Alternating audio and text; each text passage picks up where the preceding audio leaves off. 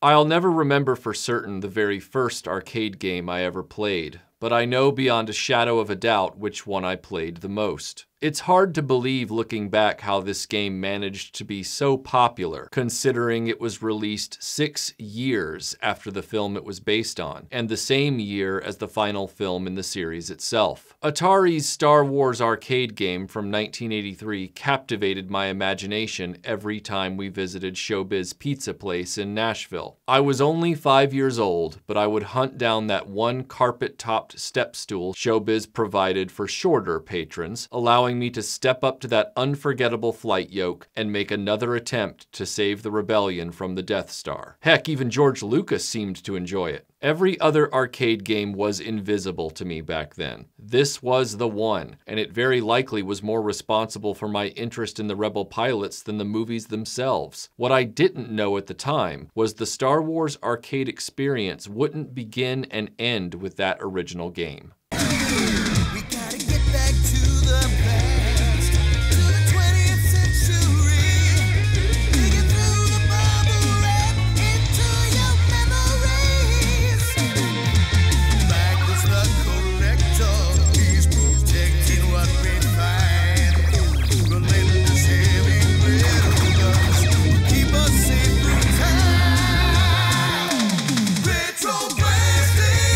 This is killer. Oh no no no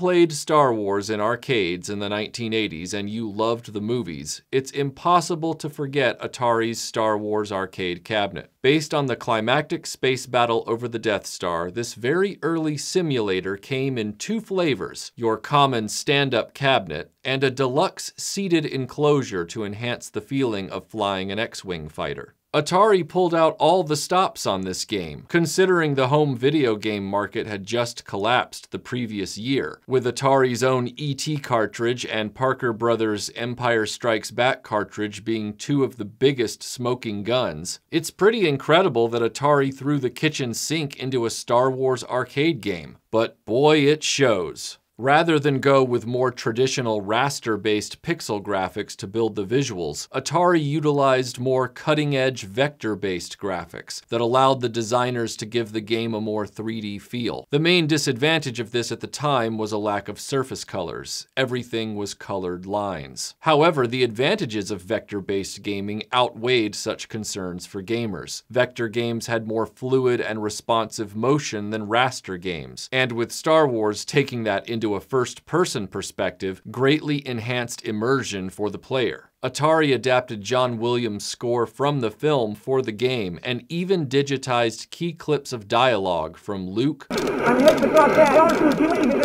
Obi-Wan, Han Solo, and Darth Vader to cement the player wholly in the Star Wars universe. Digitized speech was cutting edge at the time for consumer gaming, and Atari used it to superb effect. If the music, voices, and the vectors weren't enough, the Star Wars arcade game arrived in a first-class cabinet with top-to-bottom custom graphics on the sides, screen surround detailing, and a deck with unique Star Wars-style graphics. The centerpiece of this presentation was the purpose-built flight yoke of the game, not modeled specifically after either the X-Wing's yoke in the film nor the Millennium Falcon's yokes, but its own Star Wars-like design. Able to pivot back and forth and turn like a racing steering wheel with dual thumb and dual finger triggers, the Star Wars arcade controller is arguably the most memorable classic arcade joystick in history, next to possibly the internally lit joystick from the Tron cabinet. The format of the game was, like many original arcade games, a series of short levels that became rapidly more difficult the longer you survived. The first step was choosing a difficulty level. If you chose easy, the game would allow you to skip the Death Star surface level and go straight from the opening level over the Death Star to the trench run. Medium and hard settings would present you with all of the levels and kick the game off at far greater difficulty from the outset. Every setting starts in space over the Death Star as you're beset by TIE fighters. Even for a now 37 year old game, the immersion is immediate. The TIE fighters combined with the music put you in that classic Death Star battle in seconds. Good try, standing by.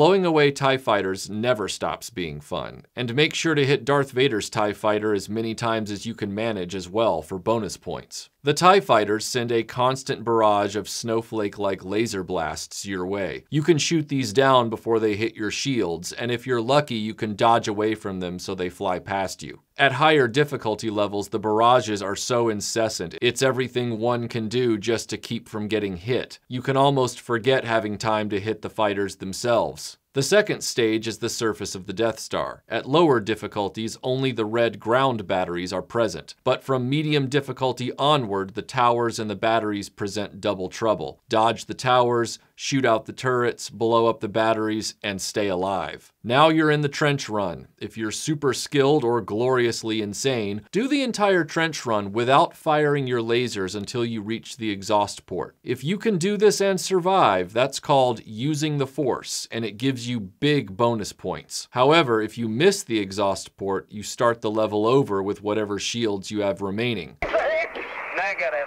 Negative.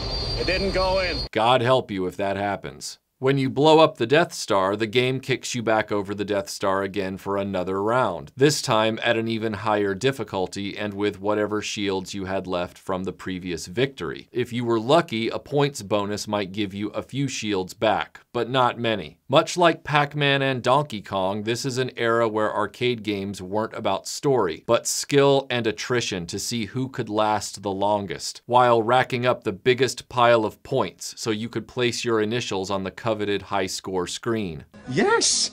860,000! I, I can't believe it's still standing! The Star Wars arcade game was adapted for a number of systems, including the Commodore 64 and, shockingly, the Atari 2600, the result of which can barely be called recognizable. The game made it to a number of platforms, including PC and Amiga by the late 1980s, but all of these were pixel based adaptations. Vector graphics require special equipment and special CRT screens to display them, which means almost 40 years later, those vintage Star Wars arcade cabinets can be maintenance nightmares when you combine the special vector screen with the unique yoke that also needs regular service attention. Oddly, the one home video game system in the 80s that could have simulated Star Wars almost perfectly, the Vectrex, did not have a licensed port of the Star Wars arcade game. Sadly, this likely came down to timing. The Vectrex, a purely vector driven console with its own self contained screen, was not popular enough to survive the home video game crash and was discontinued in 1984, likely the earliest they could have completed a conversion of the game. See, I didn't have an Atari 2600, I had a Vectrex as a kid. I don't even want to remember the amount of time I spent hoping Star Wars would come out on my game console. It didn't. By 1984, the Vectrex was on closeout, but a new Star Wars arcade game landed in shopping malls across the US Return of the Jedi. Wait, not The Empire Strikes Back, I can hear you say? Alas, no.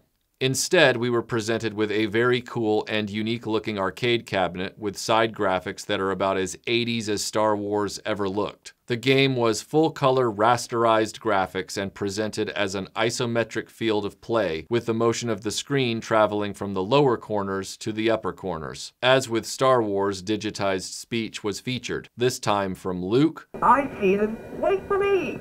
Vader, Leave them to me. I will deal with them myself. C3PO, Wonderful. We are now across the time. Lando, Oh man, oh buddy, don't let me down. Leia, Come on, hurry. We will be here any moment. Han, I have a really bad feeling about this. and even Admiral Ackbar. The shield is down. On the Death Star Great Reactor. In Jedi, you begin in the forests of Endor on Leia's speeder bike, trying to outrun the biker scouts and reach the Ewok village. On the easy setting, you jump right from this level to the Falcon's race through the Death Star. On harder settings, you must first, as Chewbacca, drive the Scout Walker to the Imperial bunker, while also flying the Falcon through the Star Destroyers toward the Death Star. Jedi's major flaw is the isometric angle combined with the original game's flight yoke. The yoke is ideal for a first person simulation, but it's terrible when trying to maneuver a sprite through trees at high speed at a three quarter angle. Ah. Oh, come on. Crap. Crap. Crap. Oh. Seriously? Oh. Oh. Crap! Crap! Crap! Go! Oh. Come on! Come on! Ah! Ah! God! Come! Oh, come on! Crap! Oh! Get! Oh! Come on! Come on! Come on! Come on! Go! You! Ah! Crap! Crap! Crap! Crap! Crap! Crap! Crap! Crap! We've got to give him more. Oh! Oh! Get, get, yes, yep. It was too close. After only a few tries back in 1984, I would avoid this game when seeing it in arcades. In 1985, Atari finally got around to an arcade game for The Empire Strikes Back, but many of us wouldn't find out about it until we were adults, because the game was an upgrade board for the original Star Wars cabinet. That's right. Empire was not graced with its own cabinet like the other two films. Arcade owners who ordered the game would be sent the upgrade board, a new marquee, some side logo decals, and some new decals for the deck and yoke surfaces. It seems most arcade owners were just fine with Star Wars and didn't order the upgrade kit, which is why I never saw Empire Strikes Back in arcades. And it's a shame because the game itself is actually pretty cool. The game features digitized voices from the film of The Emperor, The son of Skywalker must not become a Jedi. Darth Vader, Set your course for the Hawk. Luke, There's a meteorite the ground area. Han, Prepare to make the Delta Light speed. C3PO, Oh, thank goodness we're coming out of the asteroid field. and even General Rieekan. Picked up something outside the base. It begins on the wastes of Hoth, where you pilot a snowspeeder to stop probe droids from transmitting the location of the rebel base. You have to shoot down their signals while also shooting the droids and avoiding getting shot by them in turn. As with the original game, you can blast their projectiles out of the sky. Once they get the signal out, you're in the Battle of Hoth fighting AT-AT walkers and scout walkers. To stop the advance of the walkers, you can shoot them in a tiny area on their face to destroy them, or you have a limited amount of tow cables to wrap their legs and drop them instantly with the press of the thumb triggers. Trick flying under an AT-AT will win you bonus points. Drop enough probe droids or walkers in each stage to earn a letter that will eventually spell Jedi and provide you a big points bonus. The next stage finds you escaping in the Millennium Falcon and fighting off TIE fighters to reach the asteroid field. Once you reach those asteroids, it's a matter of dodging the space objects while John Williams' famous music plays out.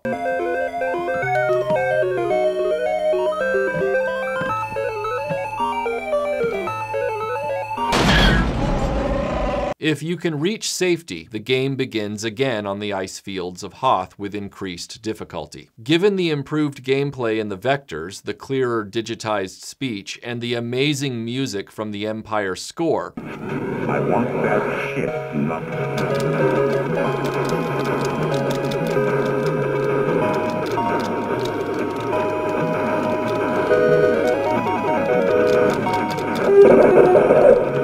The Empire Strikes Back proves to be a lost gem in this trilogy of arcade games. And while Star Wars gives me the biggest memory kick, I find The Empire Strikes Back is the most fun to casually play, with slightly more gameplay variety thanks to the tow cables and the multiple ways to defeat the AT-AT walkers. In 2019, the home arcade company Arcade 1UP bundled all three of these arcade games into a single home cabinet. The machine itself is about half the size of the original Star Wars cabinet and comes adorned with the original cabinet graphics and light-up marquee. Thankfully, a special riser included with the cabinet gets it up to standing height for most people. Each game is emulated near perfectly on a modern LCD display. The force will be with you.